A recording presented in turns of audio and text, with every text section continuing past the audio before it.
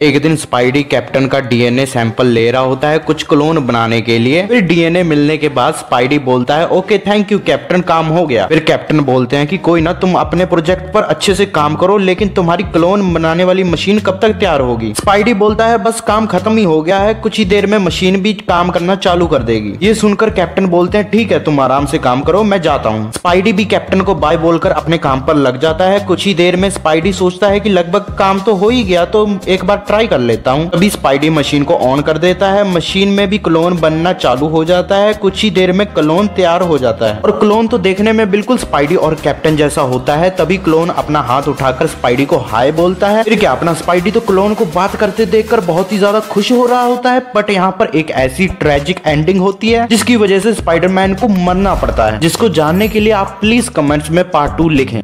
Spidey अपने clone को बात करते देखकर बहुत ही ज़्यादा खुश हो जाता है और क्लोन से पूछता है, मैं तुम्हें किस नाम से बुलाऊं? कैप्टन स्पाइडी या फिर स्पाइडी रोजर? जवाब में क्लोन बोलता है, डैड, आप मुझे किसी भी नाम से बुला सकते हो। क्लोन के मुँह से डैड सुनकर स्पाइडी बोलता है, मैं तुम्हारा डैड नहीं हूँ, मैं तुम्हारे भाई जैसा हूँ। ये बोलकर स्पाइडी क्लोन को अपने साथ लेकर अवेंजर्स टावर घुमाने के लिए ले जाता है। लेकिन अपना स्पाइडी मशीन बंद करना भूल जाता है और मशीन से एक और क्लोन बनकर बाहर आ जाता है और ऐसे ही करते करते मशीन अनलिमिटेड क्लोन बना देती है। दूसरी तरफ़ स्पाइडी और क्लोन बात ही कर रहे होते हैं, लेकिन तभी स्पाइडी देखता है कि बहुत सारे क्लोन्स की आर्मी बन चुकी है। ये देखकर स्पाइडी घबरा जाता है और क्लोन से पूछता है, तुम यहाँ पर आए कैसे? जवाब में क्लोन बोलते हैं, डैड, आपने ही तो हमें बनाया था। ये सुनकर तो स्पाइडी और भी ज़्यादा घबरा जाता है और बोलता है की, इतनी बड़ी गलती मैंने कैसे कर दी? मैं एक मशीन बंद करना भूल गया यार, और तुम यहाँ पर करोगे क्या? क्लोन्स बोलते हैं, जो बोलोगे वही करेंगे। डैड, आपको दुनिया चाहिए। इसके बाद स्पाइडी के साथ क्या होता है, इसके लिए पार्ट थ्री कमेंट ज़रूर कर। स्पाइडी बोलता है, मुझे नहीं चाहिए दुनिया उनिया, तभी क्लोन्स बोलते हैं तो क्या फिर तुम सभी अवेंजर्स को जान से मारना चाहते हो? जिस पर स्पाइडी बोलता है, तुम उल्टा सीधा सोचना बंद करो। अभी क्लोन्स बोल देते हैं कि तो क्या फिर हम तुमको ही मार दें? ये सुनते ही स्पाइडी तो बौखला जाता है और कहता है कि, है ना, तुम तो मुझसे दूर ही रहो। फिर क्या स्पाइडी के क्लोन्स तो स्पाइडी के आसपास घेरा बनाकर उसे मारने ही जा रहे होते हैं, तभी स्पाइडी चिल्ला देता है। और यहाँ पर हमें पता चलता है कि स्पाइडी तो सपना देख रहा था और शैतानी हँसी के साथ कहता है कि, दुनिया पर कब्जा करने पर मज़ा तो आता। तभी यहाँ पर हमें डॉक्टर स्पाइडी दिखाया जाता है, जो कि है ना रियल वाले स्पाइडी का माइंड कंट्रोल कर रहा होता है। तभी यहाँ पर आयरन स्पाइडी के क्लोन आ जाते हैं और देखते ही देखते यहाँ पर स्पाइडी के क्लोन्स की आर्मी खड़ी होती है, जो कि कहती है कि अब तो हम दुनिया पर कब्जा करके रहेंगे।